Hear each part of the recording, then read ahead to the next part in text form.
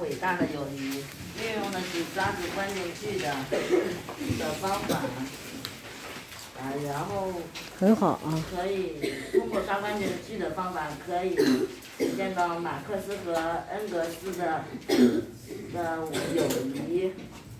你抓的是哪个关键句呢？能不能跟同学们说一下？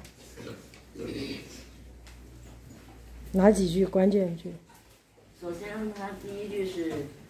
第一自然段的的第二句，他们同住在伦敦的时候，他们同住在伦敦时，每天下午，恩格斯总要到马克思家里去，去他们谈论各种政治事件和科学问题，一连谈上好几个小时，各抒己见，滔滔不绝，有时候还进行激烈的争论。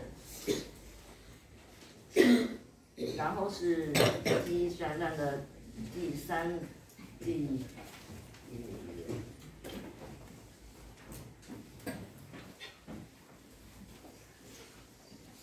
第五句。后来他们住在两个地方，就经常通信，彼此交换对政治事件的意见和研究工作的成果。然后是第二自然段的，也就是本篇的最后一句。马克思逝世的时候，他的伟大著作《资本论》。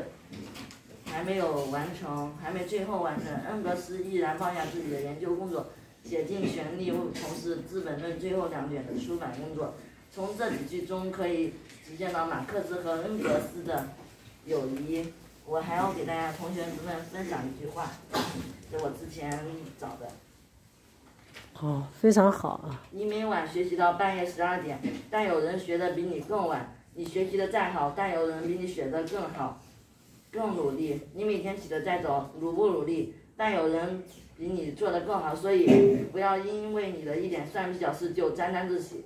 但是有许有许多现在虽然比你有许多现在虽然比你差，但的人，但等再过十年、二十年、三十年，他们一定会超过你的。回答完毕。